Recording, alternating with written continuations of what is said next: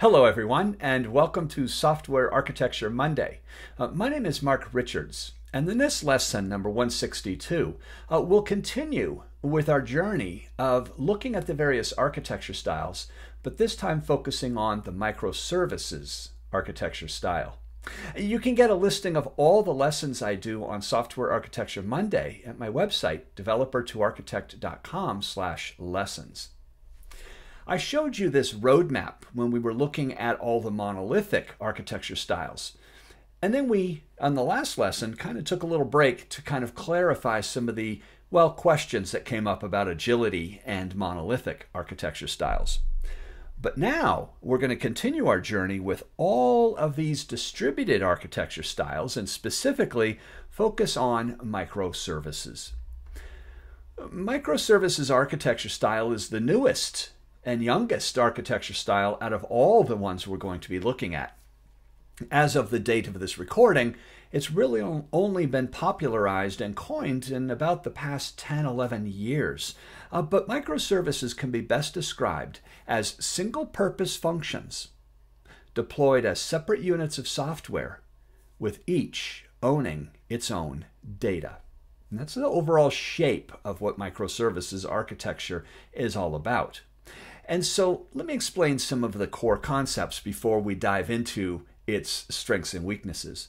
Client requests come into some sort of API layer or API gateway that fronts separately deployed services, and as I mentioned, all owning their own data. Now, what I'm showing here is each service has its own separate database. Uh, that may be possible, but what we're really talking about with microservices is each service formally needs to own its own data. Tables that it actually writes to.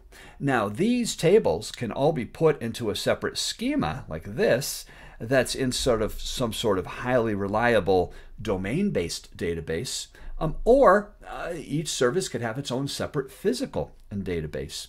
Um, because this is most typical from a concept standpoint, I'm going to leave the tables there to say each service is the owner of those tables. In other words, the only one that could actually get access to read or write from those particular tables. Those are owned by the service. Before we actually launch into microservices, let's actually define what a service actually is. A service in microservices is single purpose, separately deployed unit of software that does one thing really well. And that's the term micro. That's where microservices actually gets its name. And not from the physical size of a service, um, but rather what the service does. Now, one concept before we kind of launch into when to use and not to use this is probably one of the most important concepts in microservices, and that is the bounded context, which forms what's called a share nothing architecture. Uh, that bounded context binds together uh, the service functionality along with its corresponding data. Therefore, we have this ownership structure of the service owning that data and those particular data structures. That's what's known as kind of a bounded context, specifically within microservices. Now, that becomes incredibly significant because with the bounded context, which is necessary in microservices, it's mostly there to facilitate change. Because I'm the sole owner of my data, that allows me to change those underlying data structures without impacting any other service. You see, services who want my data have to go and actually ask me for that data. And this is in a separate contract. And so the manifestation or representation of how I store data and those corresponding data structures are only owned and known by me, the owning service. And that is one of the most important concepts in microservices. Can you imagine if you had several hundred services all querying and accessing a table, and then you change that schema or change the structure of that table? Uh, you've now impacted several hundred services, and those are only the ones you know about because once we do that data migration, and release that, I could possibly break other services that I didn't know about. Okay, so in keeping with kind of the pattern that we've done before, uh, let's talk about when it's good to use microservices. And you can kind of see from our star ratings again, one star is not well supported, five stars is very well supported. You can kind of see now uh, the story is much different than our prior three architectures, isn't it? Especially when we take a look at some of these operational and process characteristics. As a matter of fact, this really points to when to use microservices. Now we start to see that agility, that ability to respond quickly to change that I talked about in the prior lesson. Microservices does extremely well. Five stars on that.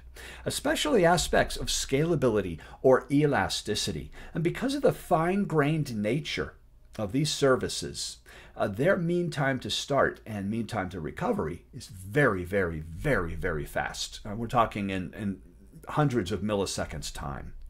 Also, another time to use this is when we have really high fault tolerance needs. When, not if, but when errors occur, uh, certain services might not be on uh, might not be available, but other services are. So we can continue with some of our work. And furthermore, because of the fine grained nature of these services, that mean time to recovery, MTTR, is very, very, very fast, uh, which means that in many cases in microservices, a lot of end users don't actually know that a fault occurred. Another good time to use this is for cloud-based deployments, which this is such, such a natural fit uh, for that on demand provisioning of services, of storage, of networks, um, all that kind of capability uh, that's built into cloud based uh, deployments. Well, with all of these five star ratings right here and these kind of use cases, uh, is there any time not to use microservices? And as a matter of fact, there are. Microservices is not a good choice when we have large monolithic data, especially relational data, that we can't break apart. Because we must form those bounded contexts to make microservices work, by necessity, we have to break apart our data. And a lot of times that's not feasible. Now, in the next lesson, I'm going to show you a hybrid of microservices where we can get away without having to touch or break apart our data. But in microservices, we do. Um, if we've got tight time and budget constraints, uh, this is probably not a good architecture choice for that initial startup of the system. Isn't this interesting? This is exactly backwards of the monolithic applications I talked about. If you're confused about this, then go back to lesson 161, where I kind of explain this difference and I illustrate how, with a highly distributed architecture like microservices, uh, this is not well suited for initial cost and simplicity uh, for an initial start. But the agility piece, the time to market, is good. Also, if our team structure is organized by technical layers, in other words, uh, whether it's agile teams or not, but if our teams are groups of UI developers, groups of backend developers, groups of database engineers, uh, groups of shared services people, this does not fit well with the domain partitioning part of microservices. So this is kind of an oil and water mixture to be very careful about. And there's one other time not to use microservices. And that's when we have highly semantically coupled functionality. What that means, and I did a lesson on this prior, but what this really means is that uh, to execute any kind of business function uh, or business request, I need a lot of different functionality. And if I put that functionality, single purpose, into separately deployed units of software, then I am making inter service calls everywhere. And I end up with what formally is called a big ball of distributed mud. And that's a lot of where kind of the performance aspect of microservices comes in. Uh, that inter service communication that does occur naturally in microservices, uh, does impact performance and responsiveness. And as a matter of fact, it's due to three kinds of latency. I have network latency when I go over to a particular service. If that endpoint is secure, I've got security latency. So I'm going to label this one uh, N, N for network. then I've got security latency, the time it takes to end up uh, authenticating or reauthorizing, most, most typically, that particular request. But then I've got another form of latency, and that's data latency, because you see, in any given request, I'm invoking the database or database calls multiple times, whereas in our monolithic systems or monolithic data, it's only a single query typically. Okay, so that is the summary of microservices. You could see over here uh, where I've kind of outlined a lot of the actual strengths and weaknesses in our star ratings, with again, one star being not well supported, five stars being pretty well supported.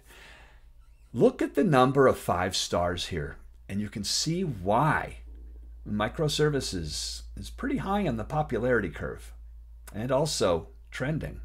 However, um, just be aware of some of the things that it's not really good at. And those are the trade offs to really avoid, especially in terms of the things I talked about when not to use microservices. All right, well, this has been lesson 162 in our journey of architecture styles, microservices architecture. In our next lesson, lesson 163, we're going to take a look at a hybrid of microservices called service based architecture. We're going to see how that works, when to use it, and also when not to use that architecture style. So until then, um, enjoy, and we'll see all of you in two weeks for our next lesson.